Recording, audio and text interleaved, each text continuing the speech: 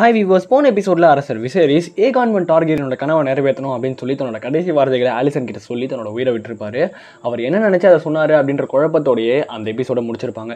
ஏகான் to டார்கெட்டினை அரசனாக சொன்னாரா? இல்லை ரெனேராவுக்கு உதவி பண்ண சொன்னாரா அப்படின்ற குழப்பத்தோடையே அந்த எபிசோட முடிச்சிருப்பாங்க. அதுக்கு அடுத்து என்னாச்சுன்றதை இந்த வீடியோவில் பார்க்கலாம். இது house of the dragons episode nine வீடியோவில் போகிறதுக்கு முன்னாடி நம்ம சேனல் சப்ஸ்கிரைப் பண்ணால் மறக்காமல் சப்ஸ்கிரைப் பண்ணுங்க. டெலிகிராமில் ஜாயின் பண்ணாதவங்க டிஸ்கிரிப்ஷனில் லிங்க் இருக்குது மறக்காமல் கிளிக் பண்ணி ஜாயின் பண்ணுங்க. இது உங்கள் தமிழ் எக்ஸ்பிளைன் வாங்க வீடியோக்குள்ளே போகலாம் எபிசோட ஸ்டார்டிங்கில் ஒரு சின்ன பையனை காட்டுறாங்க. அவன் வந்து விசேரிஸோட ரூம்லேருந்து வெளியே வரான். அவர் இறந்துட்டாரு அப்படின்றத அவன் தெரிஞ்சுக்கிறான். உடனே அங்கேருந்து ஒரு பணிப்பெண் கிட்ட சொல்ல அவங்க வந்து உண்மையாலே நீ பாத்தியா? அப்படின்னு சொல்லி கேட்க அவனும் ஒத்துக்கிறான். அவங்க உடனே போய் ஆலிசன் கிட்ட சொல்ல ஆலிசன் உடனே ஓட்டோ கிட்ட போய் இந்த விஷயத்தை சொல்கிறாங்க ஓட்டோ வந்து இந்த விஷயம் யாருக்கெல்லாம் தெரியும் அப்படின்னு சொல்லி கேட்க என்னோட பணிப்பெண்ணுக்கும் சில வேலையாட்களுக்கும் தெரியும் அப்படின்னு சொல்ல இந்த விஷயத்த வேறு யாருக்கும் தெரியாமல் பார்த்துக்கோ இது ரொம்ப கான்ஃபிடென்ஷியலாக இருக்கணும். நம்ம மற்ற வேலைகள்லாம் பார்க்கலாம் அப்படின்னு சொல்லி ஓட்டோ சொல்கிறாரு உடனே அவசர அவசரமாக கவுன்சில் மீட்டிங்கை போடுறாங்க. அங்கேருந்த லேனிஸ்டர் நம்ம ஓட்டோ கிட்ட எதுக்கு இந்த மீட்டிங் அப்படின்னு சொல்லி கேட்க அரசர் விசேரிஸ் இறந்துட்டாரு ஒரு நல்ல நண்பனையும் இந்த நாடோட நல்ல பாதுகாவலையும் நம்ம இழந்துட்டோம். அது மட்டும் இல்லாமல் அவரோட கடைசி வார்த்தை என்னோட மகன் ஏகான் டூ டார்கேரியன் எனக்கு பிறகு அரசனாகட்டும் அப்படின்றது. அதை நம்ம நிறைவேற்றணும் அப்படின்னு சொல்ல நம்ம முன்னாடி போட்ட பிளான் மாதிரி தானே அப்படின்னு நம்ம ஓட்டோ கிட்ட கேட்க நம்ம ஓட்டோ வந்து ஆமாம் சிட்டி வாட்ச் கார்டாக நம்ம பேசி வச்ச மாதிரி நம்ம ஆலிஸ்டரே ஆக்குவோம் அப்போ தான் நமக்கு அது நல்லது. அப்படின்னு சொல்ல ஆலிசன்ட்டுக்கு ஒன்றுமே புரியல.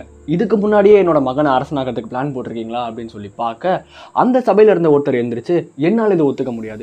அரசர் விசேரிஸ் தன்னோட மகளை தான் தன்னோட அடுத்த வாரிசாக சொல்லியிருக்காரு. அதுதான் அவரோட வாரிசை பற்றி பேசின கடைசி வார்த்தை அப்படின்னு சொல்ல அரசர் அதை சொல்லி இருபது வருஷம் ஆகுது. இருபது வருஷம் கழித்து கடைசியாக அவர் சொன்ன வார்த்தை தன்னோட மகனை அரசனாக்கிறது தான் அதுக்கு ஆலிசன் தான் சாட்சி அப்படின்னு சொல்லி ஓட்டோ சொல்ல நீங்கள் சொல்கிறது என்னால் ஏற்றுக்க முடியாது. நேற்று வரைக்கும் நல்லா இருந்த அரசர். எப்படி நீ காலையில் இறந்து போவார் அது மட்டும் இல்லாமல் தன்னோட மகனை அரசன் ஆகிறத பற்றி ஆலிசன்ட்டே வந்து சொல்கிறது நம்புற மாதிரியா இருக்குது இதெல்லாம் ஆலிசன் பண்ண சூழ்ச்சி தான் அப்படின்ற மாதிரி அவர் சொல்ல கிறிஸ்டன் கோல் வேகமாக வந்து சும்மா உட்கார்றா அப்படின்னு அவர் தலையை பிடிச்சி டேபிளில் அடிக்க அவர் தலை உடஞ்சி ரத்தம் வந்து அவர் அங்கேயே இறந்து போயிடுறாரு. எல்லாரும் ஒரு நிமிஷம் அமைதியாகிடுறாங்க அப்போ கிங்ஸ் கார்டாக இருக்க சார் ஹெரால் தன்னோட வால் எடுத்து கிறிஸ்டன் கோல் நீட்டி ஒழுங்காக உன்னோட வாலையும் உன்னோட க்ளோக்கையும் கழட்டி வச்சுட்டிங்கிறது கிளம்பு அப்படின்னு சொல்ல அரசியை ஒருத்தன் தப்பாக பேசினா அதை பார்த்து என்னால் சும்மா இருக்க முடியாது அப்படின்னு சொல்லி கிறிஸ்டன் கோல் சொல்ல ஆலிசன் எழுந்திருச்சு எனக்கு இங்கே எந்த பிரச்சனையும் இல்லை ஒழுங்காக அமைதியாக இருங்க அப்படின்னு சொல்லி சொல்ல நம்ம ஹெரால்டு வந்து வாழை பின் வாங்குறாரு அப்போ சபையில் இருந்த ஒருத்தர் இந்த டெட் பாடியை வெளியே தூக்கி போட்டுட்டு மற்ற விஷயத்த பேசலாம் அப்படின்னு சொல்ல இந்த விஷயம் முடிந்த வரைக்கும் இந்த இடத்துல இருந்து யாரும் வெளியே போகக்கூடாது அப்படின்னு சொல்லி ஓட்டோ சம கோவமாக சொல்கிறாரு ஏகான் அரசனாக்கிறத பற்றி ரெனேரா என்ன சொல்ல நினைக்கிறீங்க? அப்படின்னு சொல்லி ஆலிசன் கேட்க ஏகான் எதிர்க்கிறவங்க எல்லாரையும் நம்ம கொல்லணும் அப்படின்னு சொல்லி ஓட்டோ சொல்கிறாரு என்ன பேசுறீங்க? விசேரிஸ் உயிரோடு இருந்தால் தன்னோட பொண்ணை அவரே கொல்ல சொல்லி சொல்லுவாரா? அப்படின்னு சொல்லி நம்ம ஆலிசன் கேட்க இந்த நாட்டுக்காக நம்ம இந்த தியாகத்தை பண்ணி தான் ஆகணும் அப்படின்னு சொல்லி நம்ம ஓட்டோ என்னதான் சொன்னாலும் ஆலிசன் அதை ஏற்றுக்கிற மாதிரி தெரியல இதுக்கு நான் ஒத்துக்க மாட்டேன் அப்படின்னு சொல்லி சொல்ல சபையில் இருந்தவங்க இதுக்கு நீங்கள் வேறு ஏதாவது ஐடியா வச்சுருக்கீங்களா அப்படின்னு சொல்லி கேட்க ஆலிசன்கிட்ட எந்த ஐடியாவும் இல்லை அவள் அமைதியாக இருக்கா?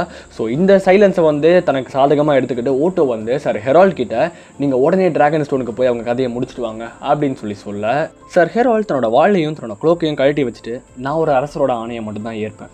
இந்த இடத்துல எந்த அரசனும் இல்லை. புதுசாக யாரையாவது அரசர் ஆக்குனீங்கன்னா அப்போ என்ன கூப்பிடுங்க அப்படின்னு சொல்லிட்டு தன்னோட பதவியை தற்காலிகமாக ராஜினாமா பண்ணிட்டு அங்கேருந்து கிளம்புறாரு.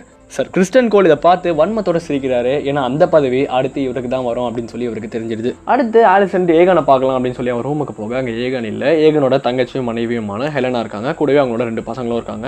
ஸோ அவகிட்ட போயிட்டு ஏகன் எங்க அப்படின்னு சொல்லி கேட்க எனக்கு தெரியாது அப்படின்னு சொல்லி அவ சொல்ல அவளோட அப்பா இறந்த விஷயத்த ஆலிசன் அவகிட்ட சொல்ல போக அந்த இடத்துக்கு ஏமண்டு வரான். ஸோ ரெண்டு பேருக்கும் வந்து தன்னோட அப்பா இறந்தது வந்து தெரிவிக்கப்படுது.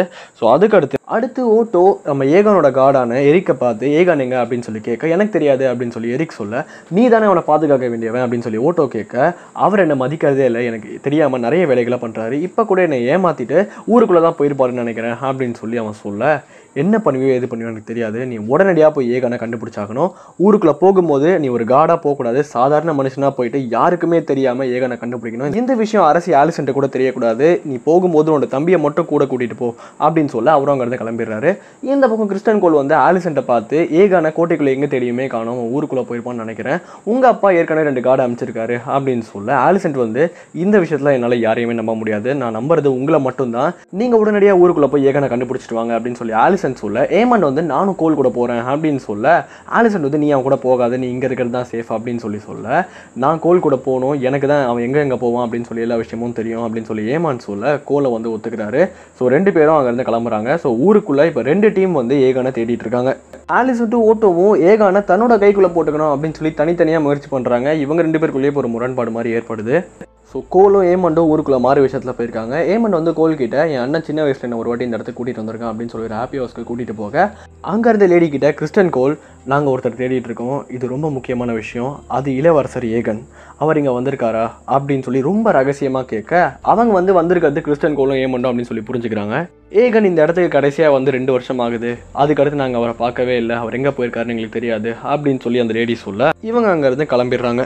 ரேனிஸ் அவங்க ரூமில் தூங்கிட்டு இருக்காங்க. அப்போ அவங்களுக்கு ஒரு சத்தம் கேட்குது என்ன நடக்குது? அப்படின்னு சொல்லி கதவு திறக்கலாம் அப்படின்னு பார்த்தா கதவு திறக்க மாட்டேது லாக் பண்ணியிருக்காங்க ஸோ ஜன்னலை திறந்து பார்த்தா அரசவையில் வேலை பார்க்குற எல்லாரையும் அரெஸ்ட் பண்ணி இடத்த கூட்டிகிட்டு போயிட்டு இருக்காங்க ஸோ ரேனிஸ்க்கு ஏதோ தப்பாக நடக்குது அப்படின்னு சொல்லி புரியுது. இந்த பக்கம் ஓட்டு வந்து அரசவையை கூட்டுறாரு. ரெனேராவது எங்களோட அரசியாக ஏற்றுப்போம் அவங்களுக்கு நாங்கள் விசுவாசமாக இருப்போம் அப்படின்னு சொல்லி உறுதிமொழி எடுத்து எல்லாரையும் ஏகானுக்காக இப்போ மண்டிட்டு உறுதிமொழி எடுக்க சொல்கிறாரு அதில் சில பேர் வாக்கு மாறுறாங்க சில பேர் வாக்கு மாற மாட்டுறாங்க. அதில் ஒரு வயசானவர் அங்கேருந்து கிளம்ப பார்க்க ஓட்டு வந்து உங்கள் முடிவை இங்கேயே சொல்லிட்டு கிளம்புங்க அப்படின்னு சொல்ல முடிவு தானே எங்கள் குடும்பத்தில் இருக்க யாரும் வாக்கு மாற மாட்டோம் அப்படின்னு அவர் சொல்ல ஓட்டோ அயன் த்ரோன்லேருந்து கோவமாக இறங்கி வர அதை பார்த்தே பல பேர் பயந்து போய் மண்டிடுறாங்க. வேற யாருக்காவது இவர மாதிரி பிரச்சனை இருக்கா? அப்படின்னு சொல்லி ஓட்டோ கேட்க அங்கேருந்த ஒரு லேடி எங்கள் குடும்பமும் வாக்கு மாற மாட்டோம் அப்படின்னு சொல்ல உங்கள் ஆசைப்படியே ஆகட்டும் அப்படின்னு சொல்லி இவங்க ரெண்டு பேரையும் அரெஸ்ட் பண்ணிட்டு போக சொல்லி ஓட்டோ சொல்லிடுறாரு. இந்த பக்கம் வாக்கு மாறலாமா வேணாமா அப்படின்னு சொல்லி குழப்பத்திலே இருந்த ஒரு ஆள் வந்து கடைசியில வாக்கு மாறி மண்டிட்டுறாரு அங்கே இருந்த எல்லாருமே இப்போ ஓட்டோக்கு கீழே வந்துட்டாங்க. ஸோ இந்த பக்கம் நம்ம ஓட்டோ அமிச்ச அந்த ரெண்டு பேரை காட்டுறாங்க. ஸோ அவங்க ரெண்டு பேரும் ட்வின்ஸு ஒருத்தன் பேர் எரிக் இன்னொருத்தன் பேர் எரிக் ஸோ எரிக் வந்து நம்ம ஏகனோட பாதுகாவலன். அவன் அவனோட தம்பிக்கிட்ட ஏகான் இந்த இடத்துக்கு வந்திருக்க வாய்ப்பு இருக்கு அப்படின்னு சொல்லி ஒரு ஃபைட் கிளப்பை காட்டுறான். அந்த இடத்துல பெரிய பெரிய ஆளுங்கலாம் ஃபைட் பண்ணல. சின்ன சின்ன பசங்க பத்து வயசு பசங்கலாம் ஃபைட் பண்ணுறாங்க ஸோ அந்த இடத்துல ஃபைட் பண்ணுறதுக்காகவே அந்த சின்ன பசங்களோட பல்லெல்லாம் கூர்மையாக்கி நகத்தெல்லாம் நீளமாக வளர்க்க வச்சு அவங்கள கொடூரமாக சண்டை போட வைக்கிறாங்க. ஏகான் இவ்வளோ கொடூரமானவனா அப்படின்னு சொல்லி ஏரிக்கு முடிக்கிறான். அந்த இடத்துல வெள்ள முடி வச்சு ஒரு குட்டி பையன் உட்காந்துக்கிட்டு இருக்க. இது ஏகனோட பையனாக இருக்குமோ அப்படின்னு சொல்லி அவன் எரிக்கிட்ட கேட்க இது கண்டிப்பாக ஏகனோட பையன் தான் ஏகனுக்கு இருக்க பல குழந்தைகளில் இவனும் ஒருத்தன் அப்படின்னு சொல்லிட்டு அங்கேருந்து கிளம்புறான். அந்த இடத்துல இந்த ஒரு சின்ன பொண்ணு ஒரு டீனேஜ் பொண்ணு மாதிரி இருக்கா? ஸோ அவள் வந்து எரிக்கிட்ட உங்களுக்கு தேவையான விஷயம் எங்கே இருக்குன்னு எனக்கு தெரியும். அவள் பேர் ஒயிட் வாம் உங்களுக்கு தேவையான ஏகனை பற்றின விஷயத்த அவள் உங்களுக்கு சொல்லுவாள் அவள் ஓட்டோ கிட்ட மட்டும்தான் பேசுவா அப்படின்னு சொல்லிட்டு அங்கேருந்து கிளம்புறா. இந்த பக்கம் அரசவையில் வாக்கு மாறலாமா வேணாமா அப்படின்னு சொல்லி குழப்பத்திலே ஒருத்தர் இருந்தார்ல அவர் வந்து அவசர அவசரமாக கோட்டையை விட்டு தப்பிக்க பார்க்குறாரு. ஸோ அவர் தப்பிக்கும் போது கரெக்டாக அந்த இடத்துல லார்ட் லாரிஸ் வந்து அவரை பிடிச்சி நம்ம ஓட்டு முன்னாடி கொண்டு போயிட்டு இந்த கோட்டையை விட்டு தப்பிக்க பார்த்தான் அப்படின்னு சொல்ல அந்த ஆளும் எனக்கு ரெனேராவை சுத்தமாக பிடிக்காது நான் அவளை வெறுக்கிறேன் அப்படின்னு சொல்கிறாரு ஆனால் ஓட்டோ உனக்கு என்ன அவ்வளோ அவசரம்? நீ எங்களை போய் சொல்லி ஏமாத்த நினைக்கிற? அப்படின்னு சொல்லி அவனை அரெஸ்ட் பண்ணி போக சொல்கிறாரு ஸோ லார்ட் லாரிஸ் கிட்ட நீங்கள் என் பொண்ணு கூட இப்பெல்லாம் நிறைய நேரம் ஸ்பெண்ட் பண்ணுறீங்கன்னு கேள்விப்பட்டேன் அப்படின்னு சொல்லி கேட்க அதுக்கான பலனை தான் நீங்கள் அனுபவிச்சுட்டு இருக்கீங்க அப்படின்னு சொல்லி லார்ட் லாரிஸ் சொல்கிறாரு இந்த பக்கம் அரசர் விசேஷோட டெட் பாடியை அடக்கம் பண்ணுறதுக்காக ரெடி பண்ணிட்டு இருக்காங்க. ஸோ அந்த இடத்துல ஆலிசன் இருக்கா? ஸோ அந்த இடத்துக்கு ரேனிஸ் வந்து என்னது காலையில் அடைச்சி வச்சிங்க? அப்படின்னு சொல்லி ஆலிசன் கிட்ட கேட்க அரசர் விசேரிஸ் இறந்துட்டாரு. அது மட்டும் இல்லாமல் நான் இப்போ சொல்ல போகிறத நீங்கள் நம்ப மாட்டீங்க. அடுத்து இங்கே அரசனாக போகிறது ஏகான் தான் இதுதான் அரசரோட ஆசை அப்படின்னு சொல்ல நம்ம ரேனிஸ் வந்து எதுவுமே சொல்லாமல் அமைதியாக இருக்காங்க. எனக்கு உங்களோட உதவி தேவை ரேனிஸ்.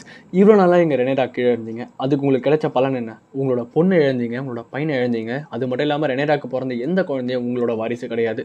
உங்களோட கணவரும் இந்த அரியணைக்கு தான் ஆசைப்பட்டார். இப்போ அவர் உங்களை விட்டு பிரிஞ்சு போய் ஒரு போரில் சண்டையிட்டு இப்போ ஒரு உயிரோடு இருப்பாரா மாட்டாரா அப்படின்றதே ஒரு மிகப்பெரிய கேள்வியாக இருக்குது அப்படின்னு சொல்ல. ரேனிஸ் அவ சொல்கிறதுக்கு ஒத்துக்கவே மாட்டாங்க இங்கே பாருங்கள் ரேனிஸ் அயன் த்ரோட உரிமை விசரிஸை விட உங்களுக்கு தான் அதிகமாக இருந்துச்சு. ஆனால் அது உங்களுக்கு கிடைக்கல. ஆனால் இப்போ உங்களோட ஆதரவை எங்களுக்கு கொடுங்க. நம்ம ஏகனை அரசனாக்கி அவனை ஒரு நல்ல அரசனை நம்ம வழி நடத்துவோம் அப்படின்னு சொல்லி அவங்க சொல்ல என்னோட டிராகன் எங்க? அப்படின்னு சொல்லி ரேனிஸ் கேட்குறாங்க உங்களோட டிராகனை நாங்கள் ஒன்றும் பண்ணல. ஆனால் அதை வெளியே விட்டால் அது ரெனேரா கூட போய் சேர்ந்துரும். உங்களோட டிராகனை நாங்கள் பிடிச்சி வச்சிருக்கிறதால படைபலம் கம்மியாக இருக்குது அப்படின்னு நினச்சி ரெனேராங்க கூட பேச்சுவார்த்தை பண்ணுறதுக்கு கூட வாய்ப்பு இருக்குது அதனால தான் நாங்கள் அதை அடைச்சி வச்சுருக்கோம் அப்படின்னு சொல்லி ஆலிசன் சொல்ல நீ ரொம்ப புத்திசாலி மாதிரி தான் பேசுகிற ஆனால் நீ அரசி ஆகணும்னு நினைக்கல. ஒருத்தருக்கு வேலைக்காரியாக இருக்கணும்னு நினைக்கிற. உன்னோட அப்பாவுக்கு விசேரிஸ்க்கு உன்னோட மகனுக்கு நீ அந்த இடத்துல ஒரு வேலைக்காரியாக தான் இருக்க. அப்படின்னு சொல்லி நம்ம ரேனிஸ் சொல்ல உங்களோட நல்ல முடிவை நான் எதிர்பார்க்குறேன். எதுவாக இருந்தாலும் அங்கே இருந்து பெல் அடிச்சு என்னை கூப்பிடுங்க. அப்படின்னு சொல்லி ஆலிசன் வேக வேகமாக சொல்லிட்டு அங்கே இருந்து கிளம்பிடுறா. இந்த பக்கம் கிறிஸ்டன் கோலும் ஏமாண்டும் ஏகானை தேடிட்டு இருக்காங்க. அப்போ ஏமாண்டு வந்து அந்த ஏகனை விட எல்லா தகுதியும் எனக்கு தான் இருக்குது இந்த இடத்தோட அரசன் ஆகிறதுக்கு முழு தகுதியுடையவன் நான் மட்டும்தான். ஹிஸ்ட்ரி ஃபிலாசபின்னு எல்லாத்தையுமே நான் படிச்சிருக்கேன். போர்க்கலைகள் நான் தெரிந்தவனாக இருக்கேன். ஆனால் இவ்வளோ தகுதிகளும் இருந்தும் ஒன்றுத்துக்கும் உதவாத ஏகனுக்கு அந்த பதவியை கொடுக்க ஆசைப்படுறாங்க அப்படின்னு சொல்ல எல்லா தகுதிகளும் இருந்து அந்த விஷயம் கிடைக்கலனா அதோட வழி எப்படி நல்லாவே தெரியும் அப்படின்னு சொல்லி நம்ம கிறிஸ்டன் கோல் ஆறுதல் சொல்கிறாரு ஸோ அப்போ தான் நம்ம ஓட்டோ அமைச்சு அந்த ட்வின் பிரதர்ஸை வந்து இவங்க ரெண்டு பேரும் பார்க்குறாங்க ஸோ அவங்க பின்னாடி போனால் அது பதில் கிடைக்கும் அப்படின்னு சொல்லி போக. ஸோ அவங்க ரெண்டு பேரும் ஓட்டோவை வந்து அந்த ஒயிட் வாம் கிட்ட கூட்டிகிட்டு போயிருக்காங்க. ஸோ ஒயிட் வாம் அப்படின்றது வேறு யாரும் இல்லை. மிசேரியா தான். அவகிட்ட ஏகன் இருக்க இடம் உனக்கு உண்மையிலே தெரியுமா? அப்படின்னு சொல்லி நம்ம ஓட்டோ கேட்க அரசர் விசரிஸ் இறந்துட்டாருன்னு எனக்கு நல்லாவே தெரியும். என்னோட ஆழ்ந்த அனுதாபங்கள் அப்படின்னு சொல்லி ஒயிட் வாம் சொல்ல ஓட்டோக்கு வந்து இவர் சாதாரண ஆளில்லை அப்படின்னு சொல்லி புரிஞ்சுக்கிறாரு. ஏன்னா அரசவை விட்டு வெளியவே போகக்கூடாது அப்படின்னு சொல்லி சொன்ன நியூஸ் வந்து ஒயிட் வாமுக்கு தெரிஞ்சிருக்கு.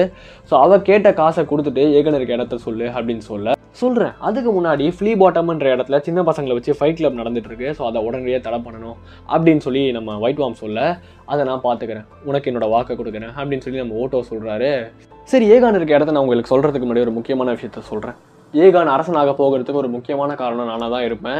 ஏன்னா ஃபைட் கிளப்பில் தான் நான் ஏகானை கண்டுபிடிச்சேன். அவனை காப்பாற்றி அங்கேருந்து கூட்டிகிட்டு வந்திருக்கேன். நான் நினச்சா அவனை அங்கேயே கொண்டு இருக்கலாம் ஆனால் நான் கொல்லாமல் விட்டுட்டேன்.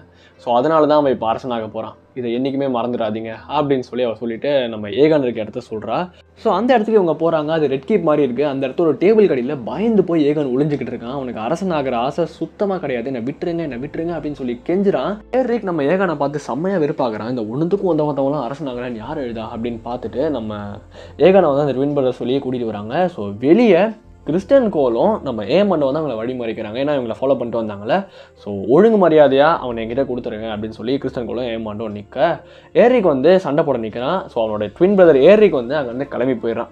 எந்த சண்டையும் போடலை. ஸோ இவங்க ரெண்டு பேரும் கிறிஸ்டன் கோலும் ஏரிக்கும் சண்டை போட்டுக்கிட்டு இருக்க.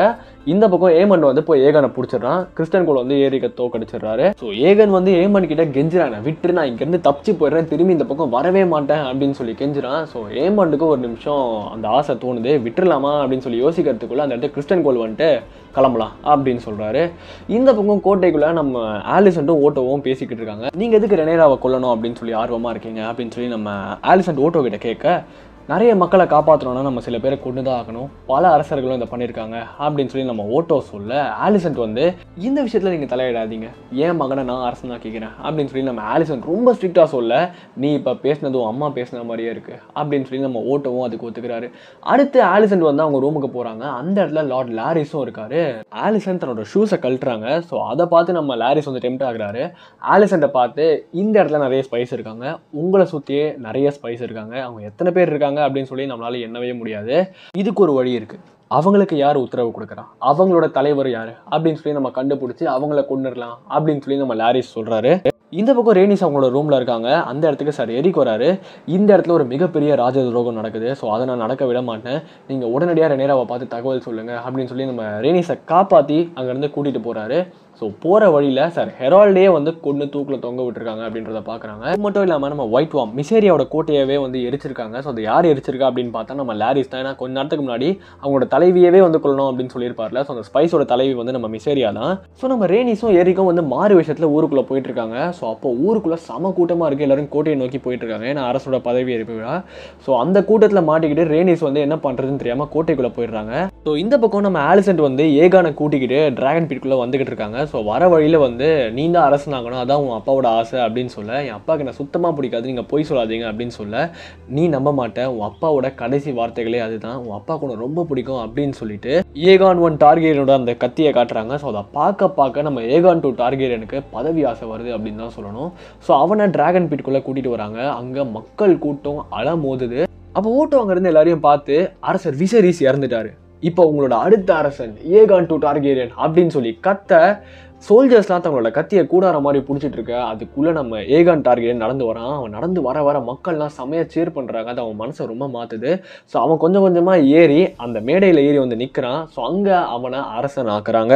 அரசன் ஆன அப்புறம் அவன் தம்பியிலேருந்து அவன் தாத்தா வரைக்கும் எல்லாரும் அவனுக்கு தலை வணங்குறாங்க. மக்கள்லாம் ஏகான் டார்கெரியன் வாழ்க அப்படின்னு சொல்லி சத்தமாக சேர் பண்ணுறாங்க அது இவன் மனசை ரொம்ப மாற்றுது ஏன்னா இதுக்கு முன்னாடி அவனை யாருமே லவ் பண்ணல அப்படின்னு சொல்லி நினச்சான். இப்போ அவனுக்காக குரல் கொடுக்குற அளவுக்கு அவ்வளோ மக்கள் அங்கே இருக்காங்க. ஸோ அதை நினச்சி அவன் ரொம்ப பெருமைப்படுறான். தன்னோட வாழை அவன் உயர்த்தி காட்ட அந்த இடத்துல ஒரு மிகப்பெரிய சத்தம் கேட்குது அந்த இடத்துல ஒரு திடீர்னு ஒரு பூகம்பம் ஏற்பட்ட மாதிரி ஆயிடுது. தரையெல்லாம் உடஞ்சி உள்ளே விழுது.